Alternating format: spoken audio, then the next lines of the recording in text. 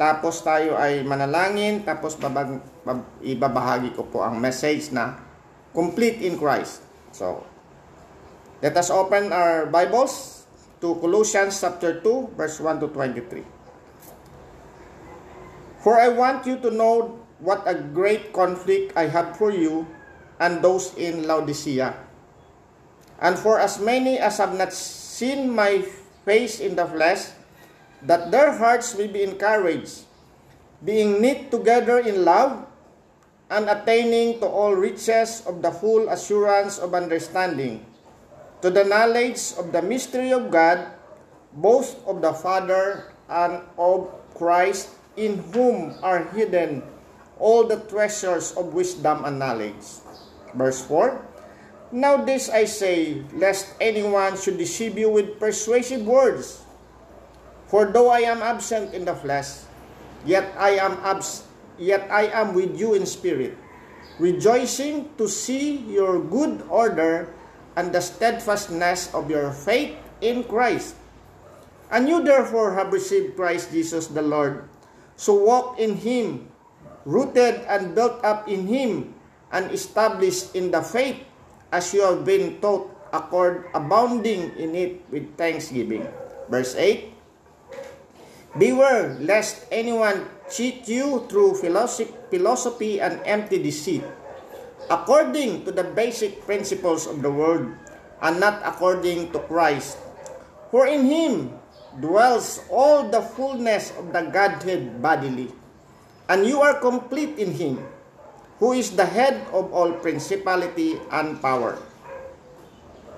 Verse 11 In him you were also circumcised with a circumcision made without hands, by putting off the body of the sins of the flesh, by the circumcision of Christ, buried with him in baptism, in which you also were raised with him through faith in the working of God, who raised him from the dead. And you being dead in your trespasses and the uncircumcision of your flesh, He has made alive together with him, for having forgiven you all trespasses, having wiped out the handwriting of requirements that was against us, which was contrary to us, and he has taken it out of the way, having nailed it to the cross, having disarmed principalities and powers. He made a public spectacle of them, triumphing over them in it. Verse 16, So let no one judge you in food or in drink, or regarding a festival or a new moon or Sabbath, which are a shadows of a shadow of things to come, but the substance is of Christ. Let no one cheat you of your reward, taking delight in false humility and worship of angels, intruding into those things which has not seen, vainly puffed up by his fleshly, by his fleshly mind, and not be holding fast to the head, from whom all the body nourished and knit together by joints and ligaments, grows with the increase that is from God. Therefore, if you died with Christ from the basic principles of the world, why as though living in the world do you subject yourselves to regulations? Do not touch, do not taste, do not handle, which all concern things which perish with using, according to the commandments and doctrines of men. These things indeed have appearance of wisdom in self-imposed religion, false humility, and neglect of the body, but are of no value against the indulgence of the flesh. Salamat po sa pagkakabasa ng salita ng Diyos. Tayo ay manalangin. Panginoong Diyos na aming Ama, muli kaming nagpapasalamat na kami Lord ay nandito na sa buwan ng December. Kami Lord ay malapit na matapos ang 2020, ngunit kami ay binigyan mo ng pagkakataon na makarinig ng iyong mga salita. Salamat po Lord sa pribileyo na binigay mo sa akin upang maipahayag muli ang iyong mga salita. Gabayan mo ako ng banal na espiritu at ganun din po Lord sa aming makikinig. Buksan mo po Lord ang aming puso't isipan upang maintindihan ito, ang aming kaalaman na hindi sapat, ngunit ang banal na espiritu na nagpapaliwanag sa amin, ang siyang magbibigay sa amin ng kaalaman na hindi pa namin naiintindihan, ngunit sa iyong awat, habag, kami Lord ay nakakaintindi, kung kami Lord ay mananampalataya sa iyo. Salamat muli Lord at dalangin namin to Lord sa pangalan ni Jesus, naming Panginoon at tagapagligtas. Amen. muli ako nagpapasalamat sa Panginoon sa pagkakataon na to kasi sa araw na to ay bibigyan natin ng diin ang isang sulat ni Pablo. Ito ay sulat niya sa taga-Colossi. No? Isang Colossi po ay isang church na kanyang ini-establish din po. At uh, siya ay umalis doon, ngunit meron siyang mga tao naka-in-charge doon. So, ang ating pong pag, uh, pagpapahayag ng salita ng Diyos ay dapat complete, no? Complete. So dapat uh, ipapahayag natin ito sa buong uh, daigdig na complete ito. So dito po ay isang aspeto na kung ikaw ay nakay Kristo, you are complete already. Sabi nga, magandang verse ito sa verse uh, 10, and you are complete in Him. No? And you are complete in Him. Ibig sabihin, you who all believe on the Lord Jesus Christ is already complete. So una-una pang patalakay natin, tatlong complete yan. No? The completes. Number one, our, our salvation is complete. Number two, our new nature is complete. And number three, our freedom in Christ is complete. No? Kasi kailangan natin tatalakayin kasi itong itong mga completeness natin in Christ ay inatake ito sa uh, sitwasyon na to sa church ng Colossae, yung uh, our salvation is complete, inaatake ng world view, yung worldly traditions, worldly philosophies, yung tradition, yung may deceit, no? Pag di-deceive sa atin, yun ang mga completeless natin ng new nature ay inatake ito ng principalities and powers, yung mga masasamang uh, angels, no? Although may complete din namang angels doon. Inaatake yan. At the same time, inaatake din ng lack of knowledge natin na ano ba talagang ginawa ni Jesus Christ sa akin na nananampalataya. Sa pangatlo naman, itong uh, our freedom is complete. Inaatake naman to ng mga legalistic way, no? At saka asceticism. Ang asceticism po ay isang word yan na parang acetate. Parang umiiwas ka, yung parang ang asceticism ay parang tatakasan mo. So, hindi ka maghahawak kasi kung sa, sabihin mo kasi kung mai-immerse ka doon sa ano ay mahawaan ka. So, yun po ang ating pag-usapan. Our salvation is complete. Our, no, our new nature is complete. And our freedom in Christ incomplete. So, bilang kabuuhan po kasi marami sa atin, bakit natin binabasa ang uh, sulat ni Pablo sa mga Kolose? Kasi ito ay isang uh, precision na uh, point ito eh. Kasi ang mga epistles talaga, yun yung mga fine brush brush strokes. Kung ikaw isang painter, ah, kung bibigay mo ang gospel o kabuuhan ng kaligtasan, kung paano talaga ang ating nangyayari, kung bakit, ano ang God, bakit tayo nagkasala, anong sitwasyon natin, Siyempre, may broad strokes yan sa buong Bible. Doon sa isang uh, genre natin na uh, the gospel books composed of Matthew, Mark, Luke, and John, para mga broad strokes lang yan. Para mga broad strokes lang yan. Halimbawa, magpe-paint ka ng isang mukha about our buong kaligtasan gospel talaga. Para kung ikaw ay painter, gagawa ka lang ng mga broad strokes. Ngayon, kung gusto mo na ng detalye talaga sa mata, sa ilong, pupunta ka na sa mga epistles. This is more on the doctrinal And oh, sa mga epistles, sa mga first part ng kanilang mga sulat, mga first chapters, parang uh, doctrinal talaga yan. Tapos sa mga last parts, nyari, uh, ano na, mga practical yan. So, bakit po natin tatalakayin itong Colossians na to? Kasi ito yung mga fine strokes. This time, we will be concerning on the precision and accuracy of our gospel.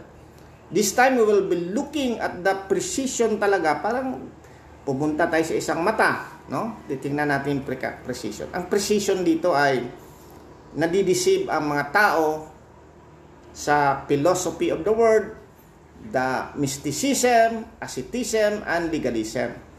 So, bakit po uh, may tinuro naman si Jesus Christ doon? May tinuro naman si Jesus Christ doon sa, sa mga gospel bakit yun hindi natin gamitin yan na pinaka-base natin?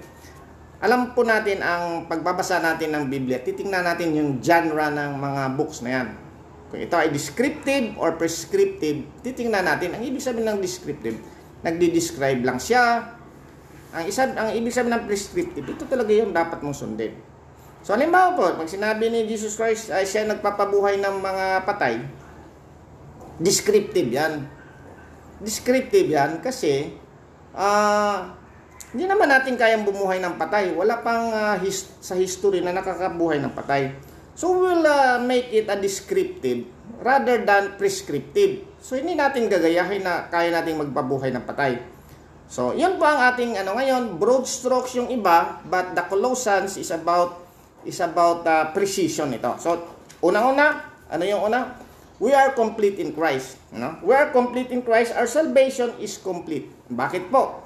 Kasi kung babasahin natin yung first uh, 10 verses, sabi nga dito, um, Now, this I say lest, uh, sa verse 4, should deceive you with persuasive words through that I am absent in the flesh, yet I am with you in spirit, rejoicing, rejoicing to see your good order and steadfastness of your faith in Jesus Christ. So, kung babasahin natin ang chapter 1 ng Colossas, Colossians, makikita natin dito na save itong mga tao na to. Save na to. So, ang assumption dito, kaya ko sinasabing, you are complete in Christ if you are saved or you believe in the Jesus Christ. Kasi sabi niya, to the saints in the faithful brethren in, in Christ or in Colossae. So the saints, ibig sabihin ng saints, believers yan. Hindi yan katulad ng canonical saints natin ngayon. Ang saints talaga, believers yan.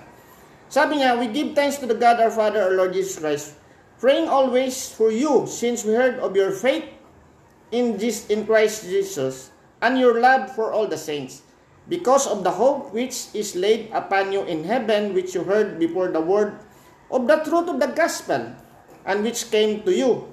It has also in all word and is bringing forth fruit. So, sa, kaya nga sabi natin, we are complete in Christ, kasi sabi niya dito, inaatake kayo ng mga ano eh, inaatake kayo ng, uh, ang Colossus ay, although Christian na kayo, pinagpanalangin ko kayo, pero inaatake kayo ng ang uh, inyong salvation, yung complete in salvation, inaatake kayo ng empty deceit philosophy and empty deceit according to the tradition of men, according to the basic principles of the word, and not, not according to Christ.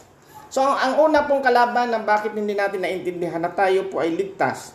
Kasi mayroon tayong mga worldly views, no? Ang una pong uh, babalikan natin, ano ba yung kaligtasan? Ang ating kaligtasan po ay we're saved from the penalty of sin, hindi tayo mapapunta sa hell.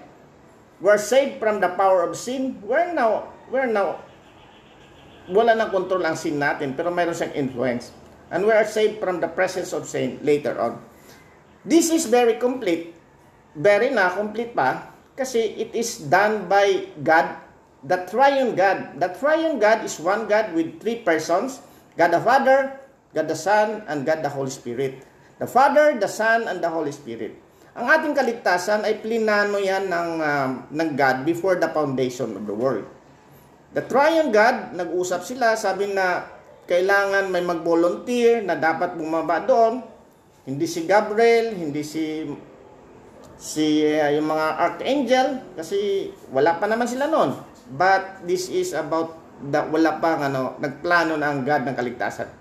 So sabi ng God, since people cannot cannot do their salvation because they are dead under trespasses and sins na namana nila kay Adam noong 5.12 ng Romans, kailangan may bumaba doon at Jesus Christ is the one who will execute and fulfill completely all the laws. No? Importante yan.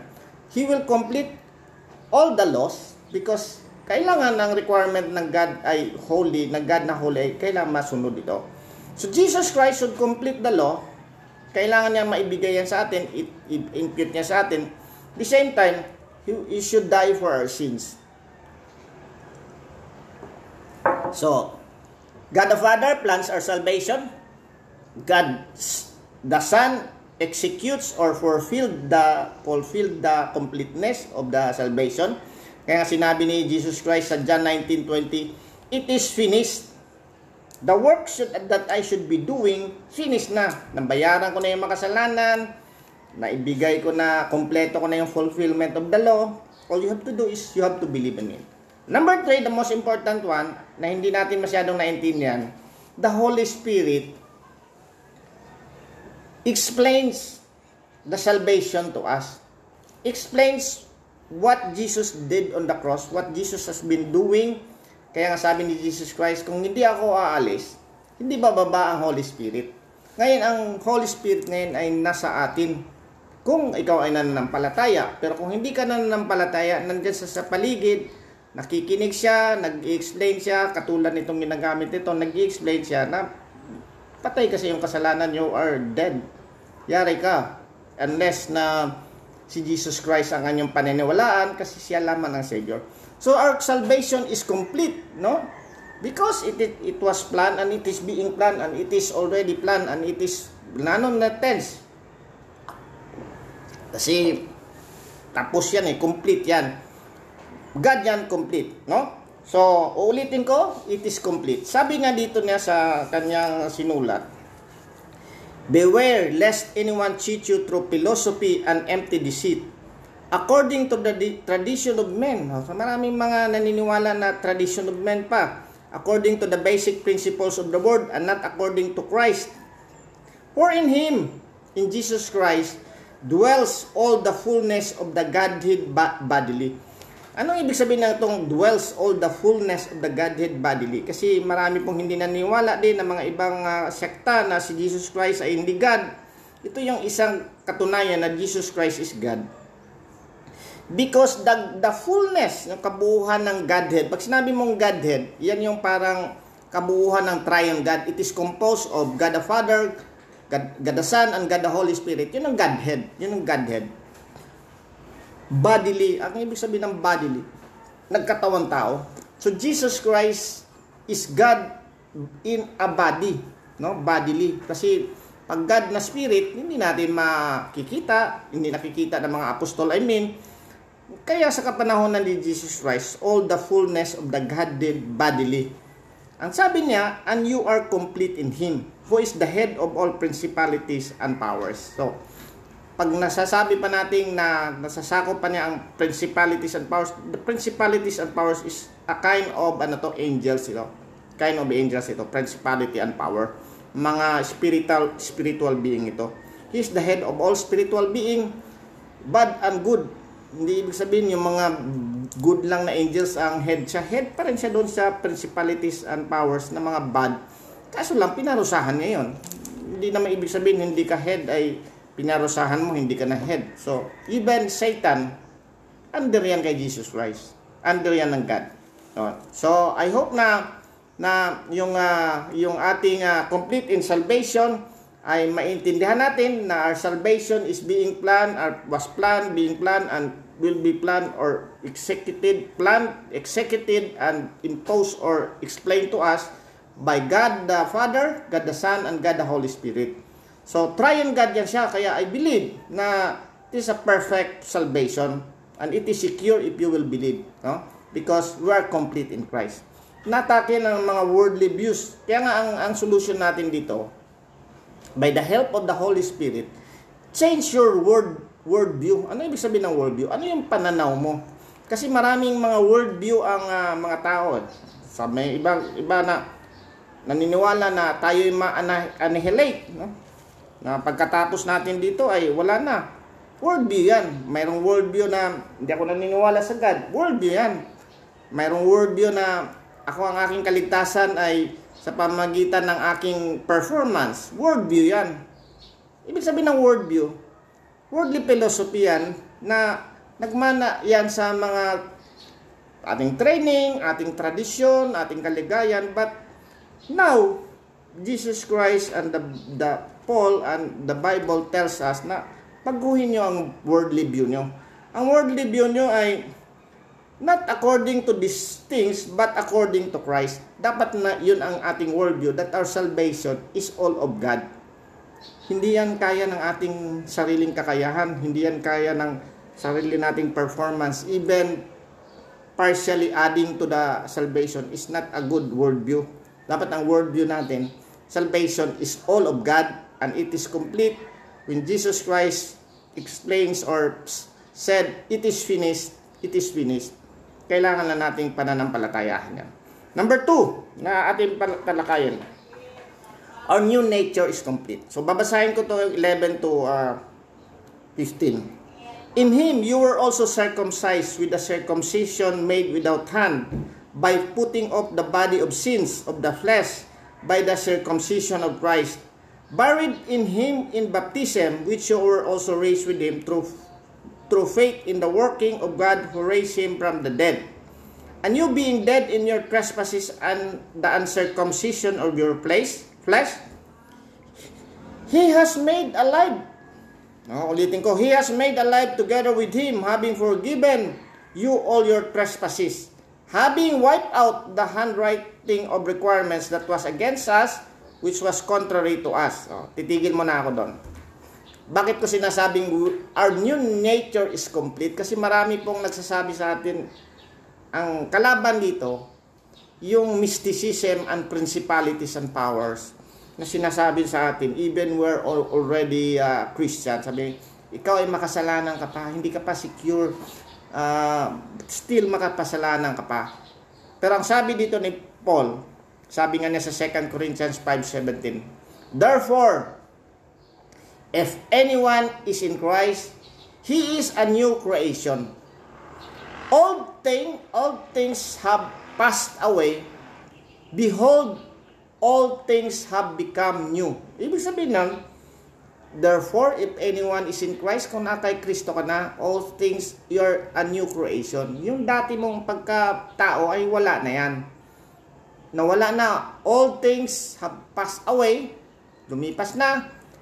All things have become new. So, dito ay complete na dapat tayo. Dapat maniniwala tayo na our design is already complete. Papaliwanag ko to. Sabi na, you also circumcised with the circumcision made without hand by putting off the body of the sin of the flesh by the circumcision of Christ. This is not pagtutuli na physical. This is circumcision ng ating heart na dati ang ating nature, no? Kasi namana natin ang nature ni Adam eh. This is the meaning of the original sin. The meaning really of the original sin is namana natin yung makasalanang nature ni Adam when he sinned because when Eva and Adam sin, ang kanilang nature ay nabago. They become became sinners na sila. So, lahat ng mga anak ni Eva at saka ni Adan, sinners na yan. We are sinners. We we commit sin because we are sinners, no? Uh, we're sinners na kasi sinner na talaga tayo. Ngayon, yung flesh na yan, yung flesh na yan, yung old nature na yan, yung body of the flesh na yan, body of sin na yan, nakakabit yan sa soul natin. Kailangan ma-circumcise yan. Kasi yun ang nagkukontrol sa atin, nagkukontrol sa atin. Ngayon, ah, uh, dapat makontrol yan. Ngayon, ang spirit ngayon ay mabubuhay. Mayroon tayong three aspeto ng ating uh, component, ng ating uh, katauhan. Body, soul, and spirit. Itong body, mayroon tong component na flesh, na nature nito ay makasalanan. Itong uh, soul, ito yung mind. Ito yung mind natin. Will, at saka yung mga emotions natin. Itong spirit na to, before, before we become believers or regenerated, dead on our trespasses and sins ito. Hindi ito makapag-communicate sa God.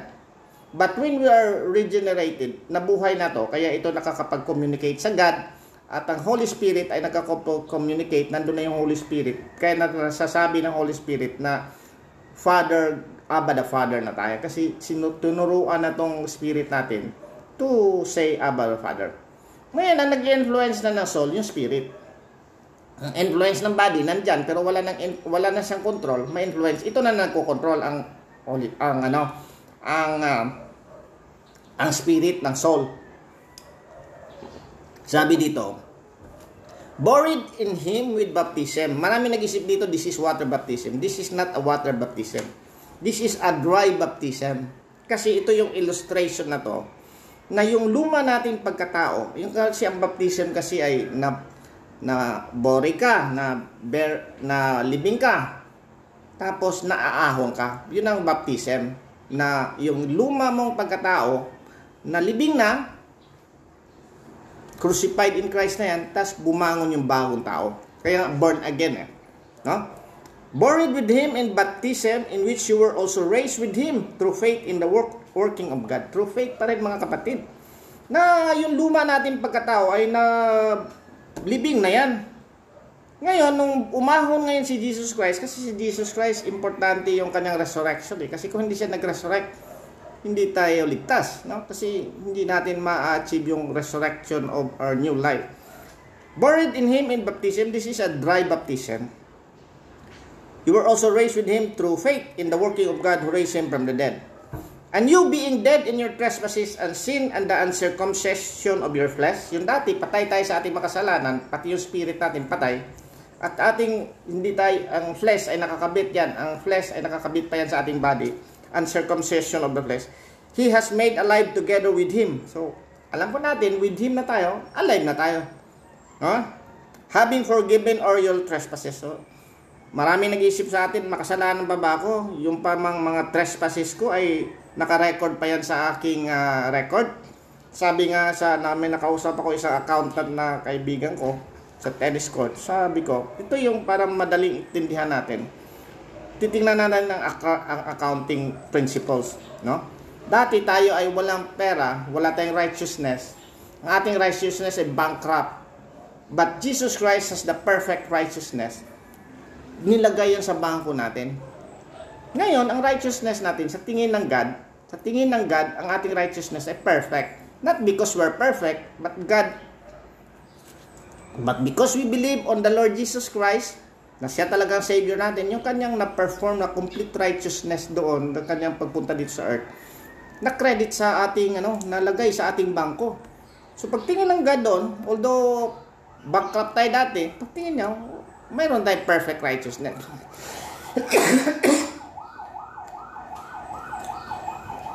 Kaya nga, we are, we are justified. Ngayon, anong nangyari sa ating mga kasalanan? Ating makasalanan, may marami tayong utang, kinuha ni Jesus Christ yung dokumento ng mga utang niya, sabi niya, sa akin na yung lahat ng mga dokumento ng mga utang mo. No? Imagine mo, sabi. 13, having wiped out the handwriting of requirements that was against us. Yung lahat ng mga utang natin, na ito yung mga utang ko, dami kong utang. Nakalagay yan sa ating, uh, kung sa balance sheet natin yan, balance sheet. Nandun yung uh, accounts payable. No? Pero kinuha ni Jesus Christ lahat ng mga utang natin, having wiped out handwriting that was against us, which was contrary to us. He has taken it out of the way, having nailed it on the cross. Ang ginawa ni Jesus Christ, ala, lahat ng mga utang mo, mga kasalanan, mga kasalanan mo, binura niya yan. Paid in full. Pinako niya doon sa cross. Kaya nga ang ating salvation is on the cross. We have to focus on the cross kasi, di, ano niyan, na having wiped out handwriting of requirements that was against us, which was contrary to He has taken it out of the way, having nailed it on the cross. So, pinakot ni Jesus Christ yung mga utang natin doon. Having disarmed principalities and powers, He made a public spectacle of them, triumphing them over them. Yung mga principalities and powers, yung sinasabi ko, mga bad spirit yan na nagkukontrol sa atin before, pinagkakakantsawan na yan ni Jesus Christ, public spectacle, triumphing them over them. Wala na kayong control sa mga anak ko. Wala na kayong control sa mga anak ko. If you are being accused that you are a sinner, sabihin mo, binayaran na yan ng full ni Jesus Christ sa kanyang dugo. Hindi yan binayaran ng mga gold, precious yung binayad, binayad niya. Precious, the blood of God, the blood, the lamb that takes away the sin of the world. No? Kaya nga, kung ikaw ay uh, kung ikaw ay ina-accuse na hindi pa complete ang iyong bagong pagkatao, na ikaw ay still makasalanan, bumalik ka sa cross at babihin mo, binayaran na yan ni Jesus Christ. Paid in full, no? Kaya nga sabi, we are now uh, sabi sa Ephesians 2:10, we are God's workmanship created in Christ Jesus for good works which was prepared beforehand that we should walk in them. So kung titingnan natin ng Ephesians 2, 8 and 9 to 10, ganito ang nakasulat doon. For by grace you have been saved through faith, and that not of yourselves. It is the gift of God, the gift of God. No?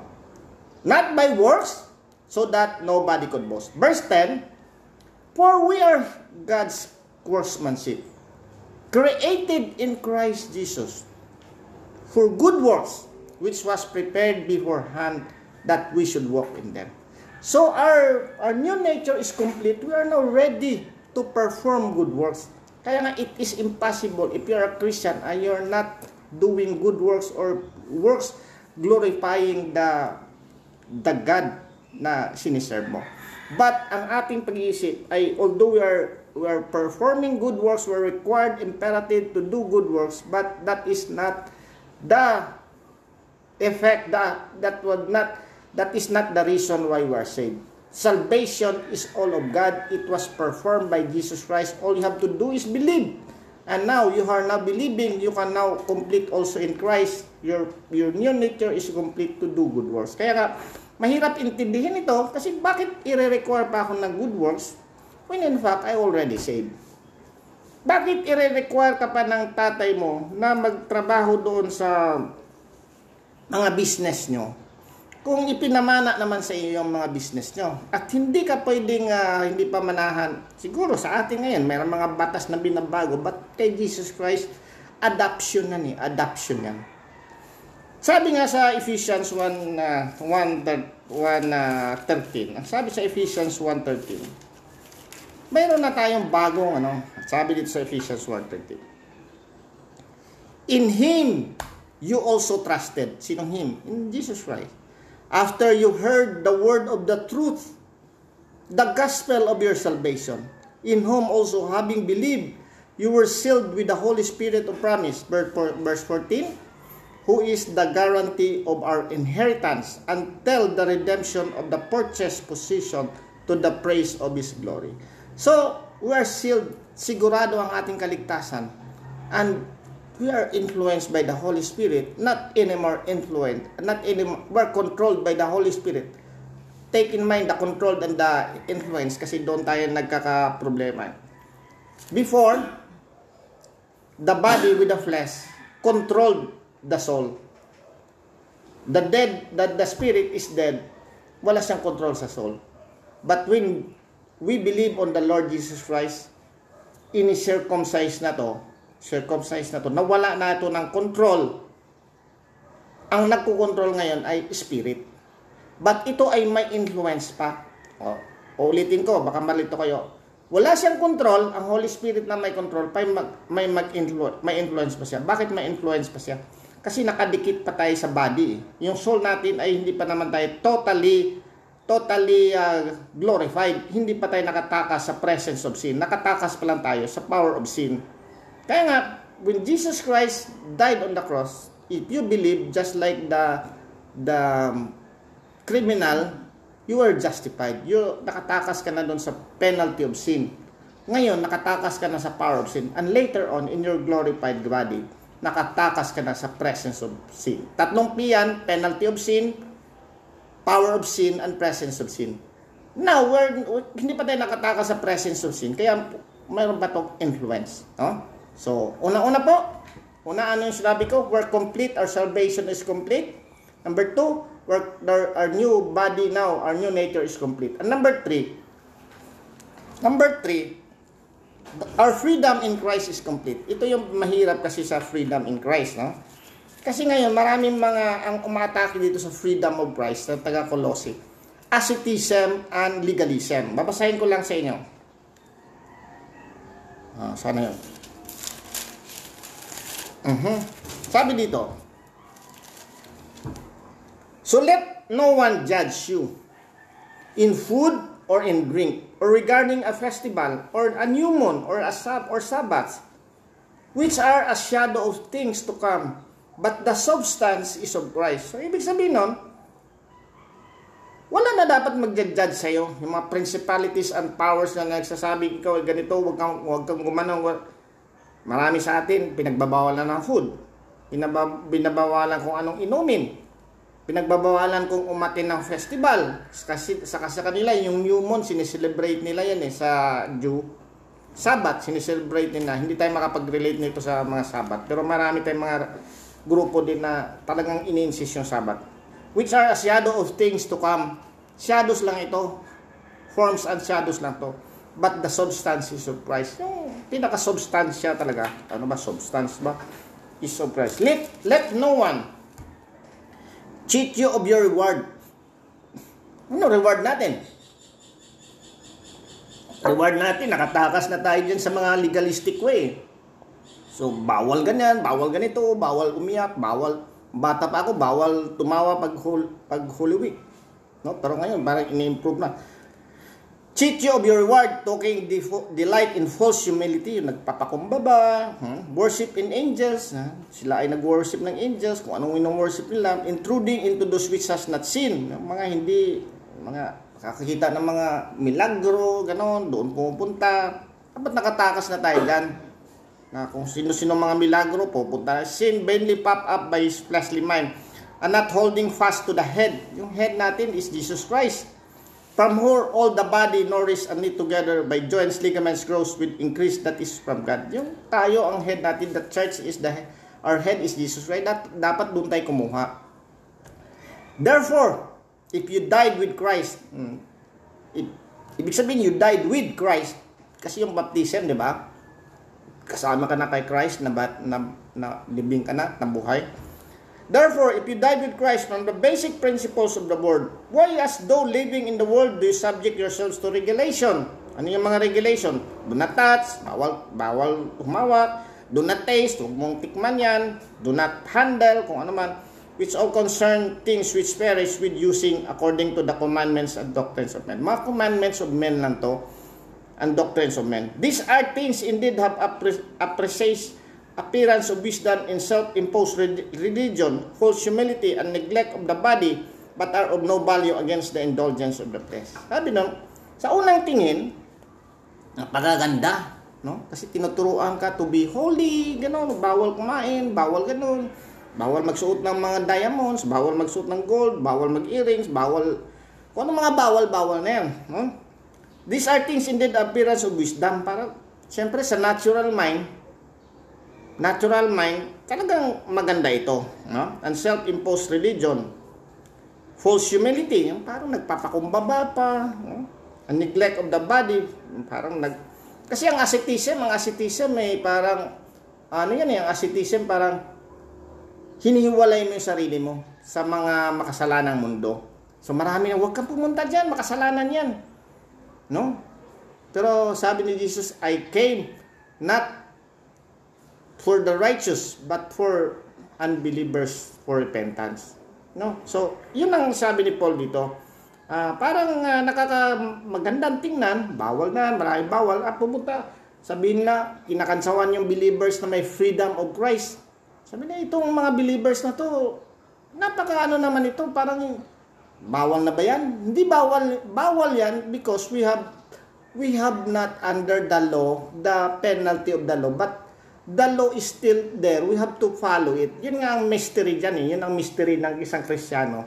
Hindi na ako mapaparusahan kung gagawin ko yan.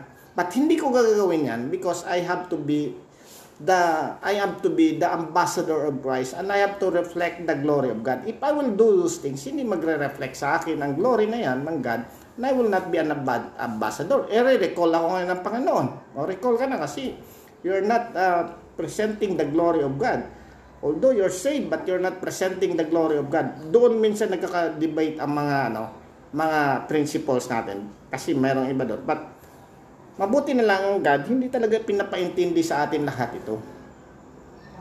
Hindi talaga pinapaintindi kasi mayroon talagang something na parang or pinapaintindi sa mga spiritual side pero not all things are are are ano are are ano parang explain to us. Kaya nga si Charles Haddon Spurgeon during his life during his life nakipaglaban talaga siya kasi nag uh, tawag nun, bumaba na yung kanilang ano eh, yung kanilang doctrine eh, na we're saved by, by grace through faith in the Lord Jesus Christ.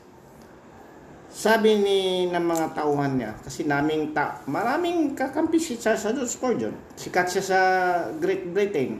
Sabi ni ano, gagawa tayo ng bagong religion sabi ni Charles, Spur, Charles Haddon Spurgeon, hindi tayo gagawa ng bagong religion. Kasi, hindi naman talaga nire-reveal ng uh, Diyos sa isang relihiyon ang tunay talagang 100%. Mayroong mga religion 90%, yung iba 80%, yung iba 50%, yung iba 10%. Ang tanong, mayroon bang maliligtas doon sa 10% na relihiyon? Ang tama? Sabi natin, it is all by grace, mayroon. Pero ang chance na makarinig ka ng tamang doktrina sa 10% correct religion ay maliit. Mayroon ba maliligtas? Lahat ba na maliligtas doon sa 10, 90% religion? Hindi. Kasi hindi lahat na hindi na nanampalataya doon. But ang chance mo, ang chance mo ay malaki ang chance mo na maliligtas ka. Kaya ang trabaho nga ng mga parents, lalo na sa mga nanay, nilalapit talaga nilang mga anak nila, makinig kayo dito, makinig kayo sa kanila. Kasi sabi na nga, although tayo naman ay hindi talaga ang Diyos talaga ang maganap. Pero kung malapit tayo sa katotohanan, maawa ang God sa atin. Maawa God sa atin. But if we are hard-headed at doon tayo sa malayo, mahirap ang chance natin. Although, sabihin naman natin, salvation is by grace. Hindi natin masasabi kay God. If you are really saved, being, you will be saved by God. Wala akong kontra dyan. Magpapasalamat ako ng Panginoon. Bilang pagtatapos po, no? Una-una po, our salvation in Christ is complete. Okay, yung maniniwala that it is not complete, it is finished. You have to believe in the Lord Jesus Christ and you will be saved. Number two, you are now a new design. You have a new creator. Wala na yung balating pagkatao mo. Mayroon lang influence yung body, but it is the flesh, but it's not controlling you. Kailangan natin i-integrate yan sa ating word, worldly view. Number three, huwag na tayong magpapasakop doon sa asceticism and legalism. Itong medyo mahirap intindihin kasi bakit ganon? Bakit ganon? Kasi ang ating training, ang ating training talaga ay mayroon tayong dapat contribution, dapat tayo bawal, bawal, bawal.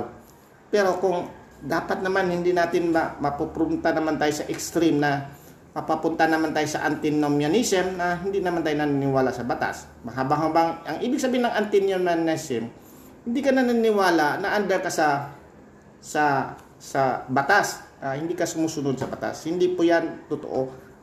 We are not under the law because we are not sa parusa ng law, but we are under the law because we have to follow the law. Bilang pagtatapos po, sabi dito sa verse 12 ng chapter 3, Therefore, as the elect of God, holy and beloved, put on tender mercies, kindness, humility, meekness, long-suffering, bearing with one another and forgiving one another. If anyone has complained against another, even as Christ forgive you, so you also must do.